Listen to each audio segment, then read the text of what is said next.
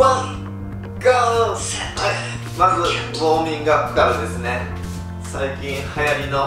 ハンドクラップが実はすごくいいウォーミングアップという感じで専門書に紹介されておりましたので、え、ウォーミングアップはハンドクラップをやって、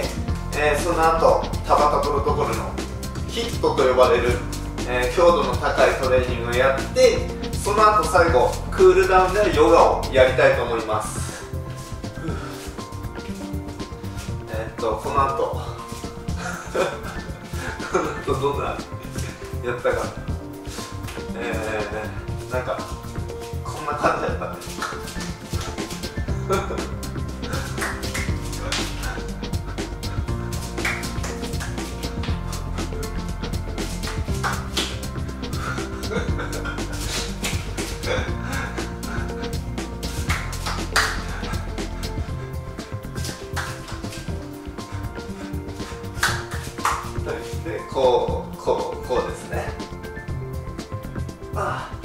これなんか楽でいいね。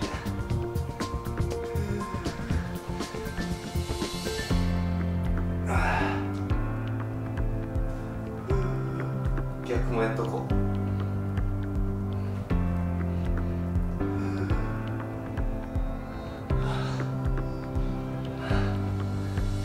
で逆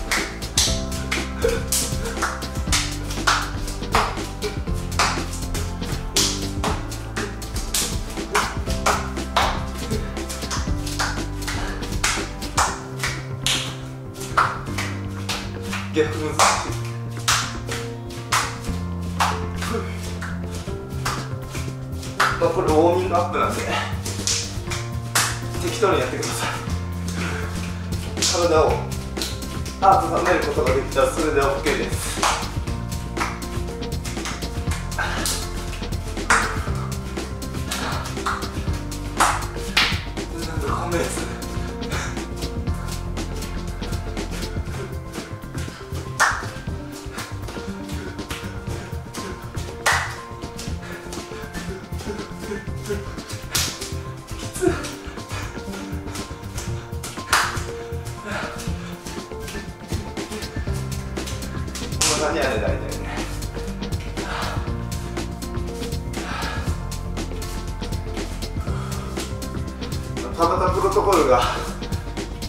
ついんでねその前のウォーミングアップとしてはいいんじゃないかなと思います。あ早いな。で軽く水分補給してから本番セットです。ワンゴー。はいワイドスクワット。早く早く。高速で行います息が上がるように。息が上がるぐらい速い動きで。できるだけ。はい10秒今休憩です。次マウンテンクライマーですね。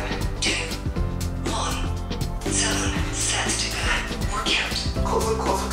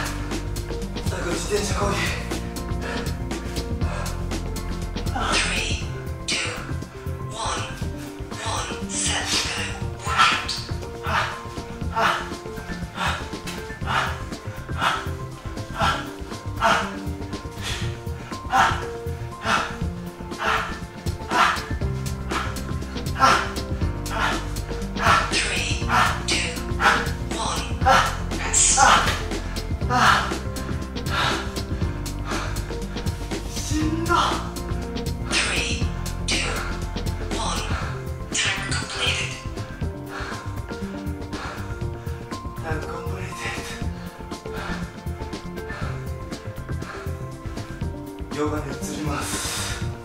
はあ。水分補給してヨガです。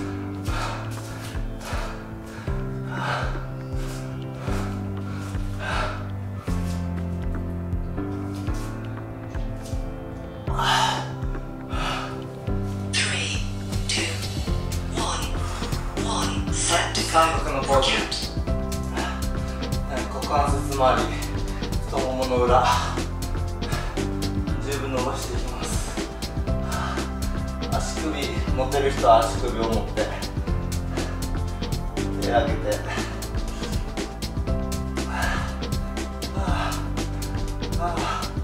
この心拍数をめっちゃ上げて酸素を取り込む力をつけるということでめちゃくちゃ心拍数を、えー上げた後はですねアフターバーン効果というのがあってもうこれを痩せたい人は朝にやってもらうとその後一日中脂肪が燃え続けてくれるというトレーニングになってますので。最初はなかなか、えー強度を上げきれないとか早くできないとかそれはちょっと基礎体力が不足していてできないこともあるんですけどちょっとずつ慣らしていって全然はあ息もできないぐらいまで上げてもらうとそういうアフターバーン効果というその後一日中脂肪を燃やしてくれるという状態に持っていくことができます。ああきつかった。うわこれってまあミトコンドリアを活性化させてそれで細胞を若返らせる、えーまあ、いわゆる若返りにも非常に効果の高いと言われてるトレーニングになってまして。もともとはすごいねオリンピックに出るようなアスリートとかが、えーやっていてそれで持久力が上がると、えーそのための運動が、えータバタプロトコルと呼ばれてるものなんですけど、まあ、そこから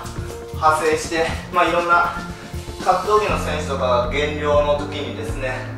えー朝から行うと筋肉量を維持したまま、えー脂肪と体重を落とせるということで、えー、これはダイエットの人にもそのまま、えー、置き換えて効果的に行うことができると思います、まあ、その他にも糖尿病の改善とか糖代謝を良くするので、えー、その辺の生活習慣病の予防とか改善とかに関してもさっきの、えー、ヒットと田畑ってまあ同じ意味で使ってくれていいと思うんですけれども、えー、めちゃくちゃきついやつをや1日1回やってもらったらそれで OK で逆に2回やっても効果ないので、えー、1日1回やってください。週に2回から3回の間で。はい。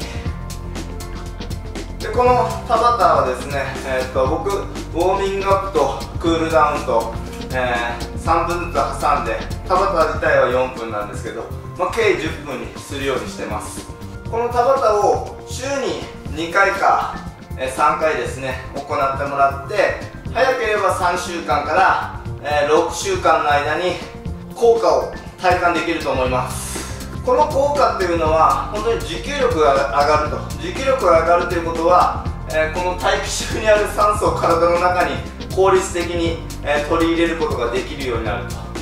効率的に取り入れることができるようになるとエネルギーとしてその酸素を使っていけます。エネルギーをたくさん使えるということは脂肪も燃やすことができるということです。なおかつ今の動作ってもうほとんど筋トレの動きが入ってるじゃないですか。なので筋トレの要素と有酸素運動の要素と2つ組み合わせたものが田畑プロトコルで、えー、手に入ります。でここまで心拍数を上げれなくても効果はあってできるだけ早くやって息切れするぐらい早くやって自分のできる限りでいいです。ちょっと動作が遅いからとかあんまり息切れしなかったから効果が全然ないかというとそういうわけではありません。自分のできる範囲でやってもらっても効果があると。そういうトレーニングが田畑プロトコルになっております。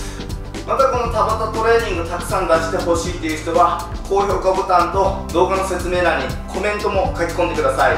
チャンネル登録も忘れずにピコッと押してね。チャンネルメンバーシップではメンバー限定のライブも行っていたり動画も配信しております、えチャンネルメンバーシップの方もぜひ動画の説明欄からご確認ください。以上です。